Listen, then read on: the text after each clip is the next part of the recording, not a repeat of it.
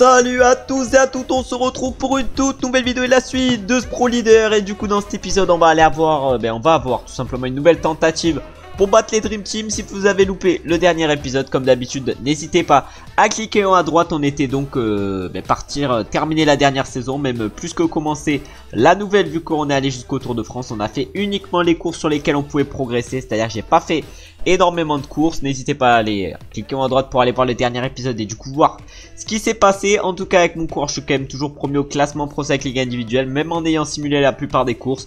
On peut voir les stats actuelles de mon coureur. Est-ce que je vais être capable de remporter le Tour de France avec ces stats? Je l'espère, mais voilà, la Dream Team Eddy Merckx c'est quand même du très costaud face à nous on va aller voir du coup euh, le parcours de ce Tour de France. On peut voir l'équipe que je vais emmener. Je vais emmener du Roglic, du Van du Guerin Thomas, du Vlasov, du Carlos Rodriguez, du Adam encore du Mikel Landa.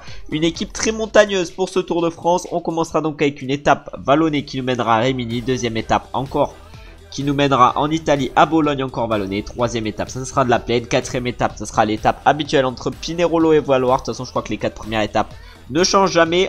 ensuite, on aura la cinquième étape qui sera de la plaine. La sixième aussi. La septième, ça sera un chrono qui devrait pas trop être à l'avantage de mon coureur. La huitième étape, ça sera une étape de plaine. La neuvième étape, ça sera l'étape des chemins blancs, il pourrait y avoir des dégâts. La dixième étape, ça sera une étape pour les sprinters, mais avec du vent dans le final. On verra si ça peut bien se passer. Et on terminera la vidéo avec la onzième étape. Et ensuite dans le prochain épisode on ira donc terminer le tour, on fera deux étapes de plaine puis une étape de montagne qui arrivera au plat d'Adé, l'étape du plateau de Bay, ben, une étape tout simplement de plaine avec une arrivée anime avec du vent dans le final, ensuite une étape ballonnée, une étape ballonnée, puis deux étapes de montagne et pas le chrono de Nice mais euh, l'étape des Champs-Élysées, c'est tout simplement ça qui peut me permettre de remporter ce Tour de France, en tout cas je vais essayer de tout faire pour le remporter, on arrive avec une équipe de malade mental. Comme d'habitude, évidemment, pour euh, soutenir la série, me soutenir, n'hésitez pas à lâcher votre like avant de partir de, ben, sur ce Tour de France. Aujourd'hui, il y a pas mal de sports clairement à regarder. On a le retour des euh, championnats après la LDC.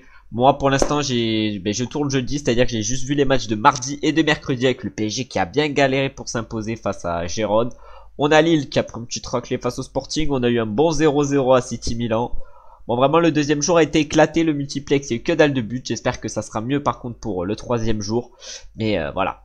Est-ce que Paris ont des chances sur, euh, sur cette Ligue des Champions Dites-moi. Mais je pense qu'ils vont clairement se retrouver dans les barragistes. Vu comment ils ont galéré déjà contre Gérone, quand ça va taper du lourd, surtout vu les adversaires qui sont tapés, ça sera un peu plus dur. En tout cas, ce week-end, il va y avoir quand même des bons matchs. On aura Real Barcelone, mais pas Real FC Barcelone, Real Espagnol Barcelone qui va nous attendre ce samedi. On aura Juve Naples, ça par contre ça peut être un très beau match avec la Juve qui est en plus en forme suite à sa victoire face au PSV et Naples, voilà, bon c'est pas exceptionnel. Ensuite on aura Fener Galatasaray pour euh, un petit championnat un peu, euh, un peu exotique. Et enfin on aura aussi euh, le top 14 avec Montpellier, Toulouse et UBB Racing. Clairement Toulouse, est-ce qu'ils vont pouvoir continuer leur bon début de saison? Ils ont un peu galéré face à La Rochelle, mais c'est quand même du lourd le stade. On va voir s'ils peuvent continuer comme ça. Mais voilà, j'espère qu'ils vont win.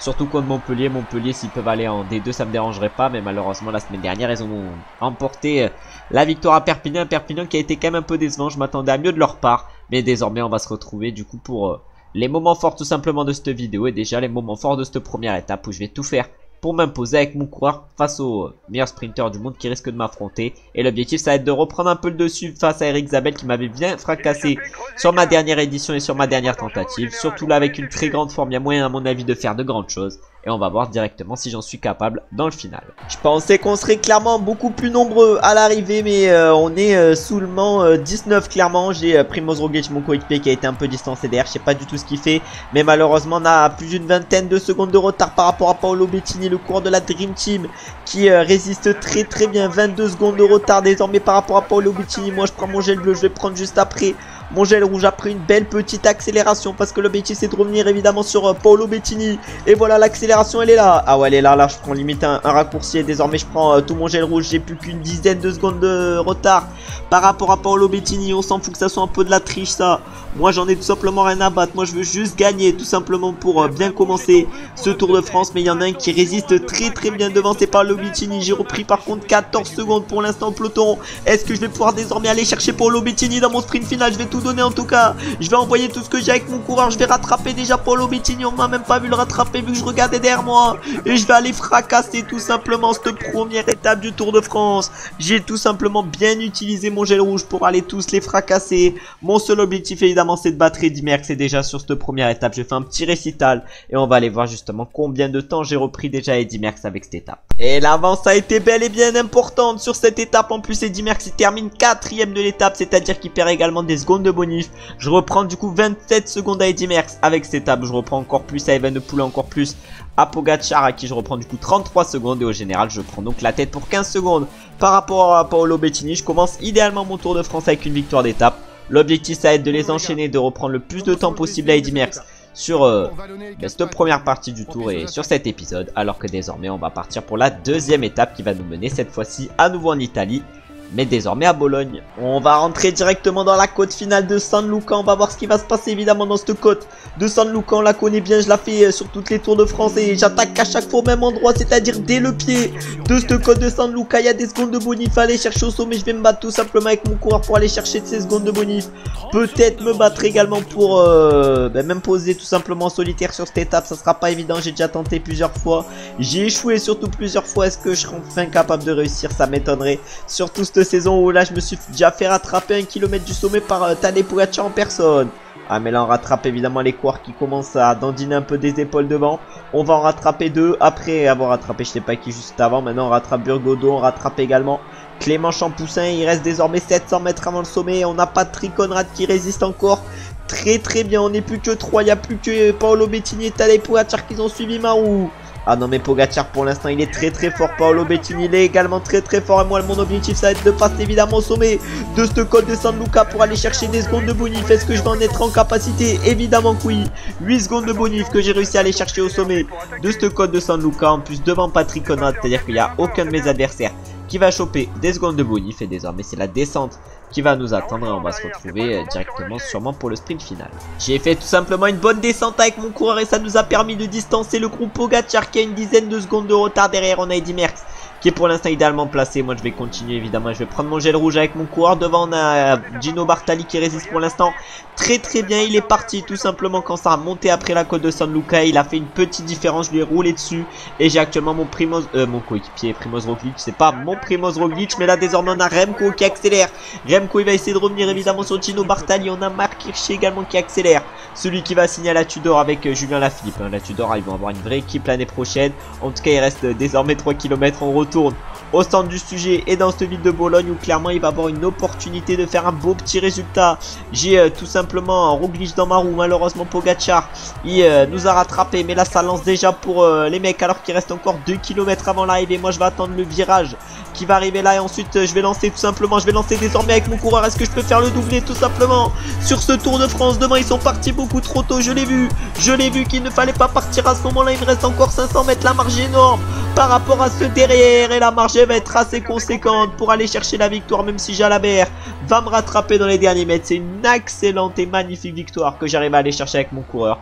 Pour l'instant, un début et une entame de Tour de France pas parfaite. Deux étapes de victoire. En plus, les secondes de bonif au sommet de la côte de Saint-Luca. On va aller voir désormais quelle avance j'ai réussi à, à me faire justement suite à ces deux premières étapes par rapport à Eddy Merckx qui risque d'être mon grand adversaire sur ce Tour de France et qui m'a battu la dernière fois pour euh, moins d'une minute et pour 45 secondes si je me rappelle bien. Pour l'instant le Tour de France commence en beauté, 18 secondes de bonus reprise, en plus Heidi Merckx du coup je lui ai repris 14 secondes avec les bonus plus 6 secondes, ça fait 20 secondes à nouveau de repris.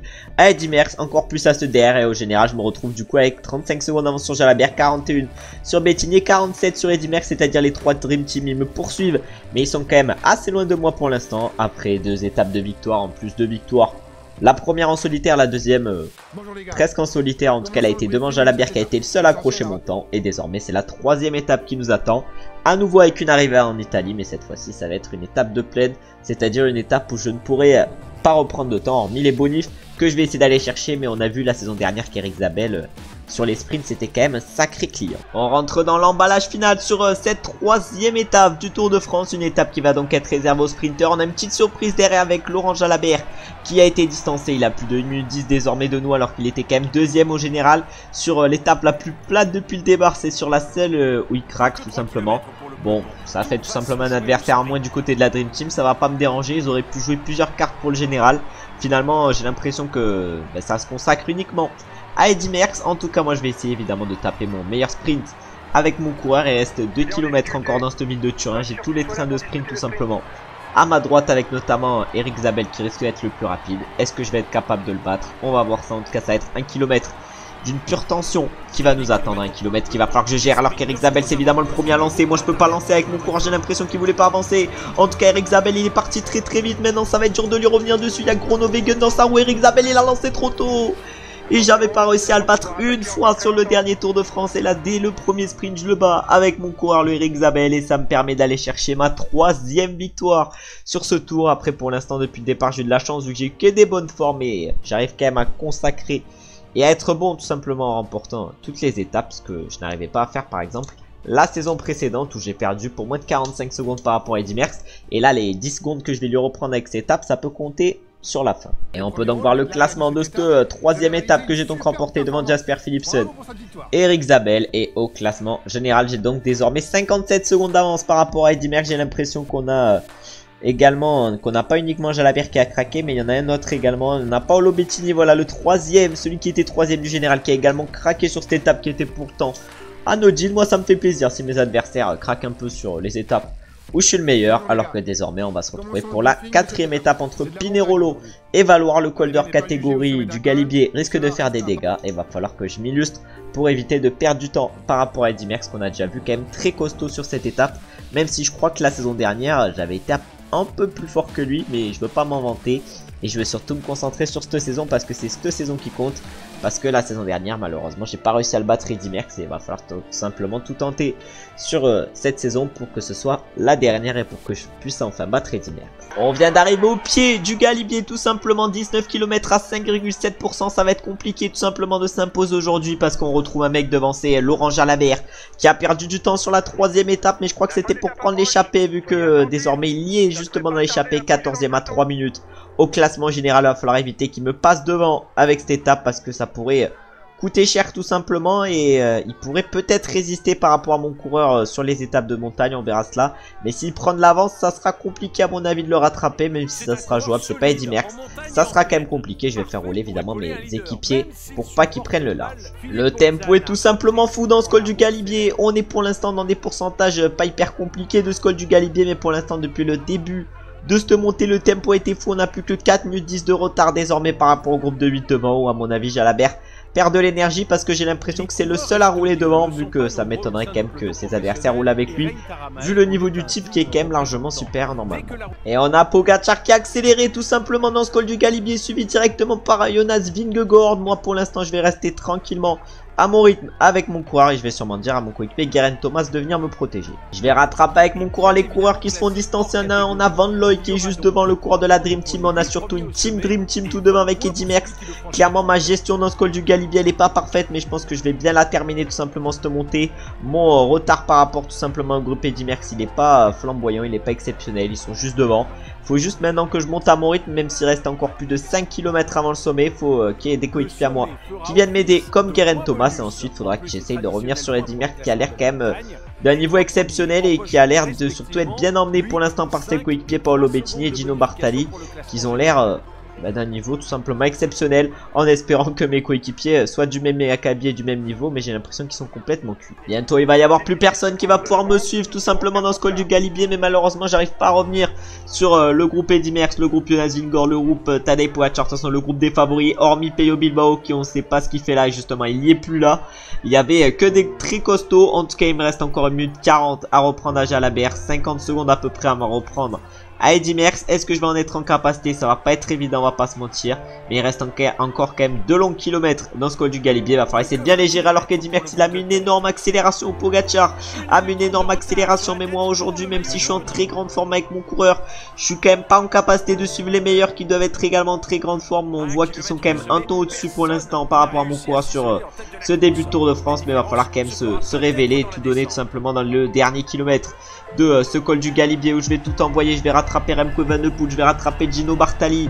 Mais j'ai encore une minute qu'il faut que je, je revienne, il faut que je reprenne tout simplement. Ils sont cuits, on les voit un peu devant.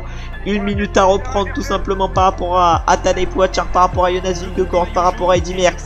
Est-ce que je vais être en capacité de les reprendre? Je ne sais pas. En tout cas, ils sont juste devant. Ils se regardent. Ils se regardent. Mais il n'y a pas. S'il y a Eddy Merckx, non, il n'y a pas Eddy Merckx. Il n'y a pas du tout Eddy Merckx dans ce groupe.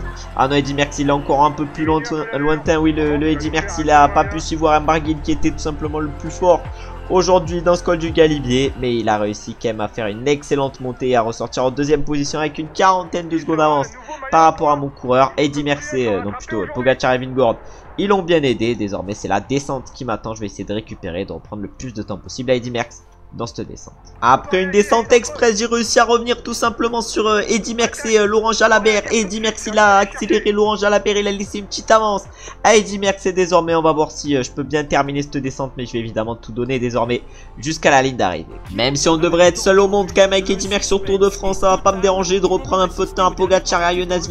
Alors que désormais, il me reste 2 km avant l'arrivée. Je vire tout simplement le régulateur. On a Jalabert qui m'a emmené Eddy Merckx. Normalement, je suis quand même le plus rapide comme d'habitude. Est-ce que je vais être capable de battre Jalabert et Dimmerck. C'est les deux que je dois battre tout simplement. Oh lolo. Oh oui, normalement j'en suis capable, mais faut pas que je me gamelle, faut pas que je me gamelle tout simplement. Et là, je vais tout donner jusqu'à la ligne. Il y a le virage de mort que j'aime pas trop, mais je vais quand même tout envoyer. Après ce virage, est-ce que je vais aller m'imposer quatrième étape et quatrième victoire pour moi avec mon coureur? La descente a été folle, même si la montée du col de Galibier, elle ne l'avait pas été. Et ça me fait une nouvelle victoire sur ce Tour de France. 4 étapes, 4 victoires. Combien de temps je vais être capable de suivre et de poursuivre cette série, je ne sais pas. Mais pour l'instant, tant que je suis à l'aise, je me plains pas parce qu'on a vu que ça pouvait vaciller par rapport à Andy Merckx qui s'est montré meilleur que moi dès que ça montait et, et, plutôt dans le col du calibre. Et on peut voir du coup le classement de cette quatrième étape où finalement j'ai repris en plus de cela du temps à Eddy Merckx avec euh, les bonifs et tout. Je lui ai repris 6 euh, ben, secondes plus une seconde de bonif. Je lui ai repris tout simplement 7 secondes avec cette étape. Il m'avait euh, pris de toute façon des secondes de bonif au sommet du hors catégorie et du coup j'obtiens et j'ai désormais plutôt plus d'une minute d'avance par rapport à Eddy Merckx. 1 minute 04 exactement Suite à cette quatrième étape, même si je risque de perdre tout l'avance que j'ai pour le moment, rien que sur le chrono de la septième étape, je vais en profiter et je vais essayer de continuer à reprendre du temps avec les cinquième et sixième étapes qui devraient être réservées aux sprinters, mais on a vu que je pouvais être meilleur que les sprinters avec mon coureur. Est-ce que je vais pouvoir recevoir 5 sur 5 avec euh, cette cinquième étape? On va voir ça. Est-ce que je vais être capable de faire justement le 5 sur 5 En tout cas, je vais essayer d'abord de me placer hyper bien et ensuite on verra si... Euh, peux réellement me confronter au meilleur sprinter du peloton. Je suis en bonne forme avec mon coureur. Ça va m'avantager de fou dans mon sprint. Mais est-ce que mon sprint va pouvoir être bon? J'en ai aucune idée. En tout cas, le coureur absolument à battre, c'est euh, Eric Zabel. On a vu que si je battais Eric Zabel, je remportais le sprint parce que je crois que c'est lui qui a terminé deuxième justement de la première étape des euh, sprinters derrière mon coureur. Et là, on va voir si euh, peut réellement faire la différence. Va falloir que je lance tôt, mais pas trop tôt non plus. 1 km 200, c'est le moment de lancer, c'est le moment de lancer. C'est désormais qu'il faut lancer. On sait qu'Eric Zabel, il va bientôt lancer. Mais là, on a Binyam Girmay, on a Arnaud Delis, on a des mecs très rapides. Et on a surtout les Jay Kwalula qui euh, arrivent à me déborder un petit peu. Mais est-ce que je vais pouvoir sauter du monde sur la ligne? Et non. Eric Zabel et Philipson, c'était les plus rapides aujourd'hui. Moi, je vais devoir me contenter de la troisième place. Ça va me permettre quand même de reprendre 4 secondes à Eddie Merckx. Mais... Euh, mais je voulais tout simplement faire le 5 sur 5 avec mon coureur. Et ça, c'est un truc euh, où j'ai échoué malheureusement. Mais euh, j'avais pas réfléchi. Mais en remportant 4 victoires d'étape, je crois que j'en ai plus remporté déjà que sur le Tour de France de la saison dernière. Allez, 4 secondes en plus de repris à Eddy Merckx. Clairement, euh, moi, les 4 secondes, les 4 secondes, ça, ça m'intéresse. Hein. C'est peut-être sur ça que j'ai perdu le Tour de France l'année dernière, même si c'est pas sur ça, c'est uniquement sur le chrono.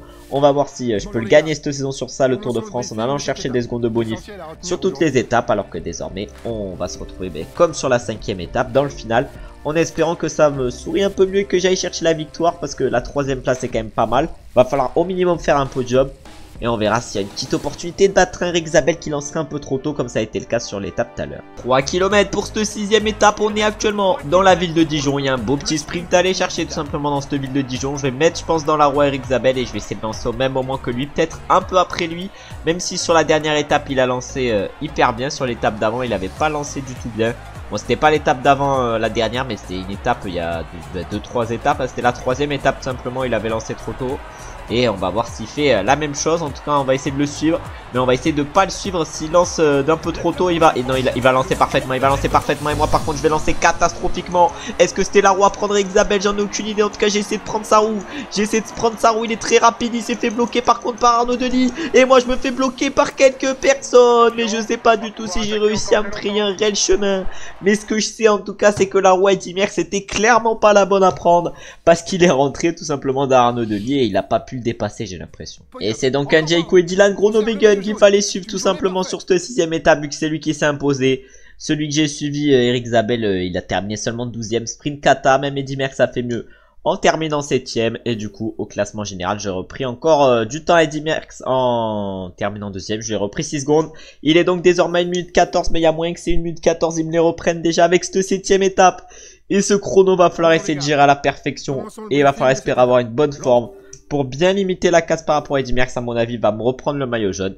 Mais l'objectif c'est qu'ils me reprennent le maillot jaune avec le moins d'avance possible. Malheureusement pas une très grande forme mais une forme normale tout simplement pour ce chrono. On va voir si je peux me débrouiller avec cette forme normale. J'ai pris un petit plus en chrono cette saison. Et avant de partir pour ce chrono du Tour de France, on va voir si je peux tout simplement faire un gros chrono. Au premier inter c'est mon coéquipier euh, euh, ben, tout simplement euh, van Aert qui est en tête en 8 minutes 55. Moi je dois être en 9.40. C'est-à-dire que je suis dans que si je suis dans les temps fixés par le DS, je serai... Euh, Déjà 55 secondes Evenepoel euh, qui vient de dépasser mon coéquipier en art. On n'a pas vu encore l'arrivée des Merckx au premier inter, mais à mon avis, je vais faire un très beau chrono. Et va falloir que je limite absolument la casse aujourd'hui, parce qu'à mon avis, je risque de perdre peut-être plus de 2 minutes, voire même plus. J'ai l'impression que l'année dernière, ça a été euh, en termes de temps perdu sur cette étape, mais j'ai l'impression par contre que cette année, il va y avoir encore plus de temps perdu et peut-être même un boulevard de perdu par rapport à Eddy Merckx en espérant que ça ne soit pas fatal sur euh, ce tour. Il y en a un qui vient d'arriver au premier inter et qui vient de signer le premier temps, c'est Eddie Merckx en 8 minutes 54, moi je dois être en 9 minutes 40. Au niveau de ce premier inter, à mon avis, je vais être à peu près dans les temps et dans le temps qui m'a été fixé par le DS mais clairement je suis pas parti à fond sur ce chrono. Je vais même avoir un peu de retard par rapport au temps fixé par le DS pas énormément mais un peu. Je vais être à mon avis en 9 minutes 50 ce qui est pas du tout dans les temps mais presque. Et du coup je vais être exactement combien avec mon courage je vais même être au-delà 9.50 je suis en 9.57 j'ai presque déjà perdu le maillot jaune. Par rapport à Edimer j'ai perdu 1 minute 03 j'avais 1 minute 14 d'avance. C'est à dire qu'il va falloir que je mais que j'accélère tout simplement sur la suite de ce chrono. Et on va aller voir deuxième inter où je suis switché alors que le deuxième inter et alors que la deuxième plutôt partie de chrono risque d'un peu plus m'avantager avec une légère cote. Et Remco pour l'instant au deuxième inter il est en 17,59 moi je dois être en 19,30 c'est à dire que je dois être à 1 minute 30 de Remco. Je pense que je vais prendre énormément cher sur ce chrono et le 71 justement était pas plaisir au niveau de ce, de ce stade. Malheureusement j'ai l'impression que je vais être encore plus long au deuxième inter et Eddie Merckx il a signé un temps de 18.03. Moi je vais être loin malheureusement des 19.30. Je vais avoir encore plus de retard qu'au premier inter. Je vais avoir près de 30 secondes de retard et même plus. 38 secondes. J'ai perdu 21 secondes par rapport à l'objectif entre le premier et le deuxième inter. Et je suis 66ème pour l'instant du chrono. Alors que désormais je vais essayer de récupérer dans cette descente afin de bien terminer. Allez j'arrive avec mon coureur dans les derniers mètres sur ce chrono quel temps je peux signer à l'arrivée. 29-40 ça doit être le temps. En tout cas c'est le temps que m'a fixé le DS 29-40 est-ce que je vais pouvoir tout donner jusqu'à la ligne? Oh, le chrono va être pas mal du tout. Mais je vais terminer euh, voilà en 30 minutes exactement avec mon coureur. 19 secondes de retard par rapport à l'objectif que m'avait fixé tout simplement le DS. J'ai l'impression d'avoir perdu plus de 2 minutes 30 par rapport à Remco. Bon clairement mon retard va être euh, aberrant tout simplement par rapport à Edimer j'ai bien commencé ce Tour de France mais là tout simplement cette septième étape elle fait mal comme euh, bah, à chaque fois tout simplement que je fais ce tour. j'ai joué concentré intelligent sur ce chrono, mais malheureusement je signe seulement le 52e temps à 2,49 de Remco Evenepoel, c'est-à-dire à 2 minutes 31 de Eddy Merckx, ça fait mal. Ça fait mal de, perdre autant de temps. Et au niveau du coup du euh, classement général avec mon coureur, je suis 4ème à 1 minute 17, je suis passé d'Erwin Gogor, d'Er Pogacar Et presque derrière Remco Evenepoel qui a une minute 24. Clairement une minute 17 de retard par rapport à Eddy Merckx. Vu comment j'avais commencé ce Tour de France, ça fait mal. Mais désormais, il va falloir se reconcentrer, se remotiver afin de poursuivre ce tour en beauté. Et il va falloir essayer de reprendre du temps comme je le fais d'habitude sur la 9 étape. Même si euh, sur le dernier tour, j'ai pas repris de temps. On va essayer de prendre notre revanche et d'en reprendre cette fois-ci du temps sur l'étape entre 3 et 3. Mais avant cette étape entre 3 et 3, on a l'étape de Colombelle des Églises qui devrait être réservée aux sprinters, des sprinters que je vais essayer de tous battre pour revenir à peut-être moins d'une minute 10 d'Eddie Merckx qui serait déjà un petit pas vers la remontée. Moins de 4 km avant l'arrivée, Eric Zabel et le train de la Dream Team est parfaitement lancé. J'ai essayé de prendre sa roue Eric Zabel sur le dernier sprint, ça s'est finalement pas très bien passé, pour lui. On verra si c'est la bonne roue à prendre sur ce sprint. En tout cas, il a pas mal reculé. Il est pas hyper bien placé. On a Tom Boonen également qui est en train d'emmener un de ses coéquipiers. J'ai l'impression que c'est Eddie Merckx qui est en train d'emmener. Moi, pour l'instant, je vais essayer de rester euh, très très bien placé avec mon coureur. On voit qu'il y a Eric Zabel qui est juste à ma droite. Est-ce que ça va être la bonne roue à prendre Eric Zabel? Va falloir essayer de, suivre sa trajectoire tout simplement. Va falloir essayer de, de suivre au moment où il va lancer le Eric Zabel. Ah ouais, non, mais je sais pas. Il va lancer bientôt. Il va lancer bientôt, je le sens. Je le sens qu'il va lancer, il va lancer maintenant Eric Zabel et moi malheureusement j'ai été un peu piégé par le Eric Zabel, j'aurais dû lancer un peu plus tôt dans ce sprint, je vais pas laisser quand même les Dream Team réaliser un triplé aujourd'hui et je vais aller me battre pour la deuxième place du jour. Mais heureusement qu'il n'y avait pas 10 mètres de plus parce que sinon il y en a un que j'aurais sauté, c'est Eric Zabel. Et on va aller voir si je l'ai pas sauté mais je pense que c'est de la deuxième place que je vais devoir me soucier et devoir me ben, me contenter tout simplement sur cette étape. Et ouais, deuxième de ce sprint après une tout simplement euh, bonne gestion. Elle n'était pas parfaite. Il aurait fallu que je lance un tout petit peu avant pour qu'elle soit parfaite. Mais du coup, j'ai repris 6 secondes de bonus. Je me retrouve désormais plus qu'à 1 minute 11. Bon, 1 minute 11, c'est quand même pas mal. Mais je me retrouve désormais du coup à 1 minute 11 de Eddy Merckx avant l'étape des secteurs en terre où je vais essayer tout simplement de faire la différence avec mon équipe et on va voir si je peux réellement la faire justement la différence sur cette neuvième étape où on va se retrouver tout simplement pour euh, les moments forts. J'ai eu la stratégie de faire attaquer Wood Van Aert, mais malheureusement le peloton il s'est complètement arrêté après l'accélération de Wood Van et il y en a un qui a essayé de le suivre. C'est Eddy Merckx tout simplement, il va falloir que j'essaye de rattraper avec mon coureur tout simplement le Eddy Merckx qui est parti devant. Moi je suis en bonne forme aujourd'hui avec mon coureur, je me fais gêner malheureusement dans ces secteurs en terre et devant on a qui est parti avec euh, je sais pas qui mais je crois qu'il est parti avec un coéquipier à lui et non même pas il est parti avec McNulty le coéquipier de Pogacar et moi je pense que je vais faire rouler mes coéquipiers justement pour revenir sur Eddy Merckx. Ça accélère de partout dans ces secteurs. Pour l'instant, mes coéquipiers, ne sont pas, ils me sont pas d'une grande aide. On va espérer que leur aide soit un peu meilleure, mais j'ai l'impression qu'ils sont un peu cuits tout simplement. Mes coéquipiers, j'ai l'impression qu'ils ne veulent pas aider. Je sais pas ce qui leur arrive. Mais en tout cas, l'écart est de 50 secondes par rapport à vous Aert la tête de course. Et il est pour l'instant de 30, d'un peu plus de 30 secondes par rapport à Eddy Merckx. Mais j'ai l'impression que je fais pour l'instant le travail justement pour mes coéquipiers. En espérant que voilà, ils commencent un peu à se réveiller parce que sinon ça va être bien galère. Alors qu'on est plus que 21 actuellement dans le peloton. Bon, les faire rouler à tempo 110, ça marchait pas trop. Du coup, je les ai fait tout simplement attaquer. Et voilà, ils ont mis un rythme de tout simplement de malade mental. Je vais dire évidemment à vous, à vous de ne plus collaborer devant. Et moi, je vais mettre une véritable accélération avec mon coureur dès ce secteur. Je mets une véritable accélération dans ce chemin des je sais pas quoi. Et j'essaye tout simplement de mettre une mine à Eddy Merckx. Il m'a vu passer telle une fusée à côté de lui. Je lui ai mis une énorme mine. Tout simplement, Eddy Merckx. Et maintenant qu'il vienne me chercher, qu'il vienne me chercher, j'ai vous Van Aert, qui va s'amuser avec lui, qui va se mettre dans sa roue. Et désormais, je vais espérer qu'il fasse un bel effort pour essayer de me revenir dessus. Un effort qui risque de lui coûter cher, euh, j'espère en tout cas. Alors que moi, je me sens pour l'instant très bien avec mon coureur et que ma barre bleue est très complète. Bon, Eddie Merckx qui m'attaque, tant mieux. Je vais laisser rouler euh, Wout van Aert pour moi. Tout simplement, la stratégie pour l'instant est très très bien ficelée. Eddie Merckx qui euh, accélère comme un débilos. Moi, j'ai Wout van Aert pour l'instant pour m'amener et j'espère que le voûte il va faire un bel effort et qu'il va bien m'emmener tout simplement alors que je vais peut-être le ralentir un peu parce que sinon il va me cramer. On arrive désormais sur l'avant-dernier secteur, derrière il y a les Dream Team qui essayent de faire l'effort, ils ont vu qu'ils étaient en sous-nombre par rapport à, notre équipe euh, ben, de la Loco Metal, il y en a un qui craque c'est euh, Christophe Laporte j'ai l'impression. Et oui c'est bel et bien lui mais derrière c'est au sprint tout simplement. Pour les Dream Team, ils ont vu que Eddie Merckx se faisait un petit peu piéger par moi et mon équipe et ils ont décidé tout simplement de sprinter pour essayer de revenir. Ils sont désormais plus qu'à une trentaine de secondes. Ils sont tous au sprint derrière. Et moi pour l'instant je vais laisser mon coéquipier euh, ben, van Aert tout simplement rouler alors que Remco Evenepoel craque désormais.